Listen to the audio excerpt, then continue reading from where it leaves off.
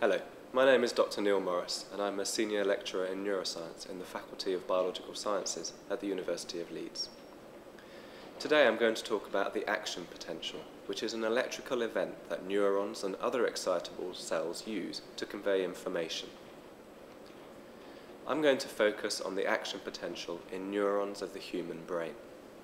Action potentials are also seen in other excitable cells, including heart and muscle cells.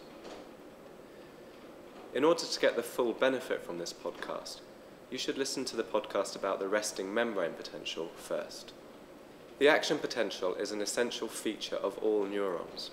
It is the means by which neurons convey information to one another and to effectors, for example, muscles and glands. Action potentials are seen in the majority of neurons in the central and peripheral nervous system and work in the same way in most neurons. In this podcast, we will learn about the major features of the action potential and some of the principles governing how action potentials are generated. We will also look at the function of the action potential. We'll start by looking at how the action potential is generated.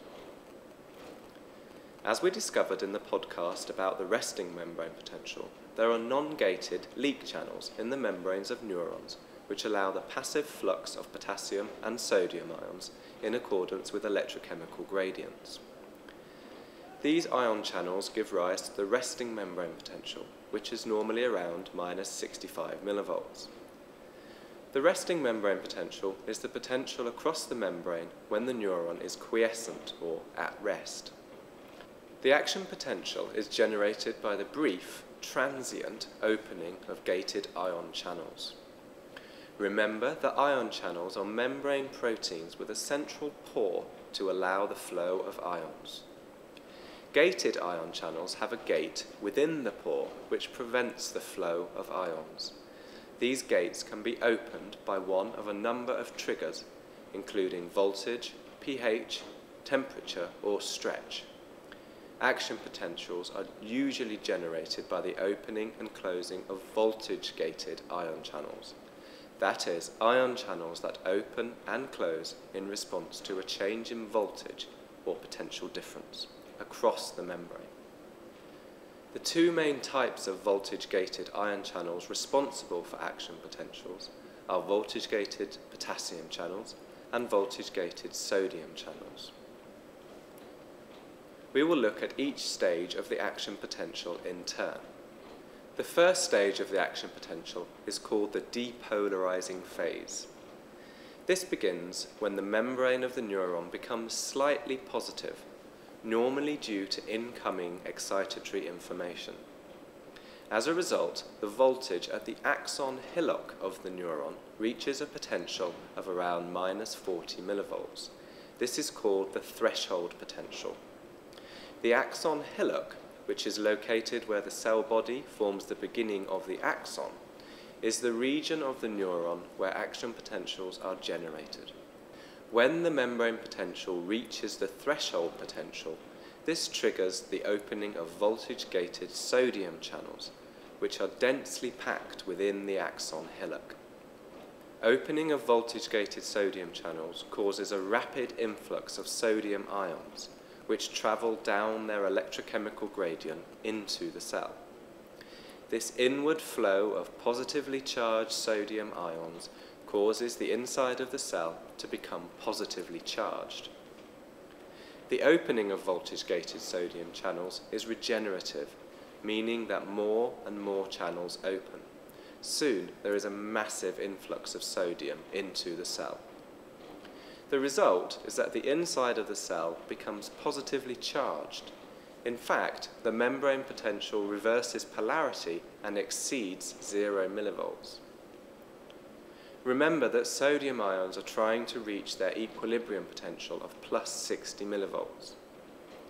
However, this influx of sodium is short-lived. The voltage-gated sodium channels only remain open for around one millisecond. After this time, they become inactivated, which means that a gate, called the inactivation gate, shuts, preventing further flux of sodium ions. This event marks the peak of the depolarizing phase. During the depolarizing phase of the action potential, the positive change in membrane potential causes the opening of voltage-gated potassium channels. These channels open more slowly than voltage-gated sodium channels, and they allow potassium ions to leave the cell down their electrochemical gradient. As voltage-gated potassium channels open more slowly than voltage-gated sodium channels, they only really begin to exert their effects once the sodium channels have become inactivated. At this stage, the outward flow of potassium ions causes a rapid reduction in the membrane potential to a negative potential, after which the voltage-gated potassium channels close. This is called action potential repolarization, and it can vary in duration according to the type of voltage-gated potassium channels involved.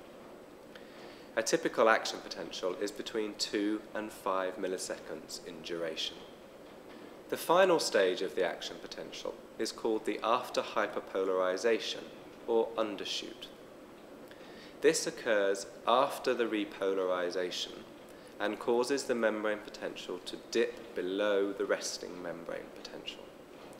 The after hyperpolarization, or AHP, is caused by too much potassium leaving the cell making the potential too negative, or by the opening of a specific type of potassium channels.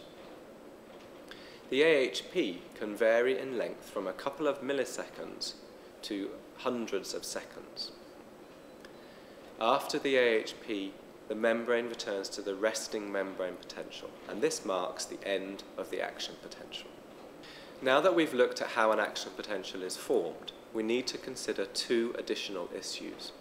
Firstly, the information conveyed by action potentials, and secondly, how action potentials travel along neurons. Action potentials are all or nothing events. Once they are initiated, they cannot be stopped, and they will always be of the same size and shape. Therefore, they're a bit like binary information, either on or off. This means that an action potential on its own doesn't really convey much information. Interestingly, it is the frequency of action potentials, i.e. the number generated per second, that conveys information within neurons. As action potentials are all or nothing events, it is not possible to interrupt them once started. This phenomenon is called the refractory period. Action potentials actually have two refractory periods, an absolute refractory period and a relative refractory period. The absolute refractory period is the period of time during which it is impossible for the neuron to fire another action potential. This is during the depolarization and repolarization phases and is primarily due to sodium channel inactivation. The relative refractory period is the time when it is difficult but possible to generate another action potential if a large stimulus is applied and it occurs during the after hyperpolarization or undershoot phase. Once an action potential has been generated at the axon hillock, it must travel down the axon to reach the synaptic terminals to initiate synaptic transmission. Action potentials can travel long distances along axons without being reduced in size.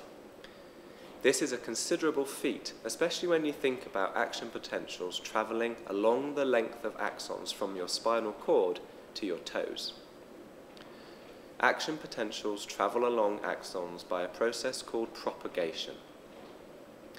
Many axons from neurons to muscles in the body are covered with an insulating material called myelin, which is produced by supporting cells called glia. This insulation has gaps along the length of the axon, called nodes of Ranvier. Action potentials propagate along these myelinated axons by saltatory conduction, which literally means that they jump from node to node. This process means that the action potential is not reduced in size and allows it to travel quickly along the axon to the synaptic terminal. It's also worth remembering that action potentials are unidirectional. They can only travel in one direction. down the axon from the neuron cell body because the sodium channels behind the propagating action potential are inactivated, thus preventing action potential generation. So there we have it. The action potential is an electrical event caused by the transient opening of voltage-gated sodium and potassium channels which disrupts the resting membrane potential. Action potentials are all or nothing events which propagate along axons and initiate chemical synaptic transmission in axon terminals, allowing communication between neurons.